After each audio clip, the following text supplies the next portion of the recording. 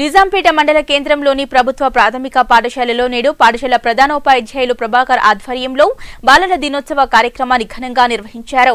ఈ సందర్భంగా ఆయన మాట్లాడుతూ పాఠశాల విద్యార్థిని విద్యార్థులకు సాంస్కృతిక కార్యక్రమాలు నిర్వహించి బహుమతులను అందజేశామని తెలిపారు. అదేవిధంగా స్కూల్ దాత పంజా మహేందర్ను ప్రధానోపాధ్యాయులు మరియు ఉపాధ్యాయుల బృందం శాలువాతో సత్కరించారు. అనంతరం పాఠశాలలో మౌలిక సదుపాయాలతో పాటు విద్యార్థులకు ఎల్లవేళలా ఆదుకుంటూ పాఠశాలను ముందుకు నడిపిస్తున్న స్కూల్ దాత పంజా మహేందర్ విద్యార్థిని విద్యార్థులకు బహుమతులు ప్రదానం చేశారు. ఈ కార్యక్రమంలో పాఠశాల ఉపాధ్యాయులు అరుణ వినయ్ పద్మ ఇంతియాజ్ బాను వినోద్ రాజు శ్వేత పావని స్రవంతి చైతన్య తదితరులు పాల్గొన్నారు.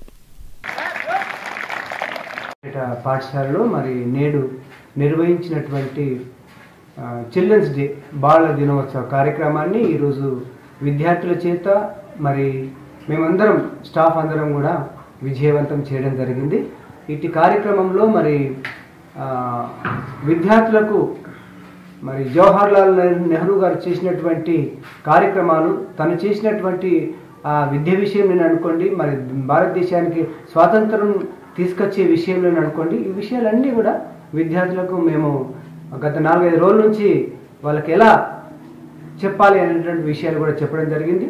ఈ రోజు అయితే వి- నిన్నటి రోజు విద్యార్థులకు సాంస్కృతిక కార్యక్రమాలేమి ఆటల పోటీలేమి ఇవన్నీ నిర్వహించి విద్యార్థులకు అందరికి కూడా రెండు వందల యాభై మంది విద్యార్థులకు కూడా మేము బహుమతులను ప్రదానం చేయడం జరిగింది. మరి మాతోటి విద్యా ఉపాధ్యాయులు కూడా ఎంతో సహకరించి విద్యార్థులను ప్రోత్సహిస్తూ ముందుకు నడిపించినారు. దానికి తోడుగా మరి మన పాఠశాలకు ఆ, దాతగా ఉన్నటువంటి పంచ మహేందర్ గారు మా మధ్యలో కార్యక్రమంలో ఉండడం మాకు చాలా సంతోషం. గత రెండు సంవత్సరాలుగా పాఠశాలను నడిపిస్తూ అంటే ఇంచుమించు ఎనిమిది మంది ఉపాధ్యాయులను పెట్టి